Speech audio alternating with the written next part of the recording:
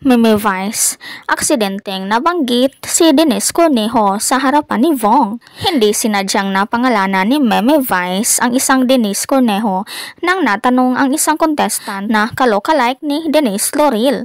Sa video ay tila hindi alam ni Meme na mali ang pangalang nabanggit. Pinaalalahanan ni Denise Loril na ito ay isang Denise Loril, hindi Denise Cornejo. Nasa harapan na si Vong at hindi niya napigilang nag-react. Know Denise? Well do you know Denise Cornejo? Denise Laurel. Sino ba yun, Meme? Ay, Laurel. Laurel. Bumalik, bumalik. Laurel ang pinag-uusapan. Wait lang, wait lang. Wait lang ah. Lights, camera, Hey! action. Laurel, go! You, here. Wait lang, wait lang. O, mapu ka muna doon. Denise Laurel. Itigil mo na. Kuya Bong, yakapin mo ko sa harapan nila. Ibang Denise kasi yun eh. Oh, ito nahahag natin to.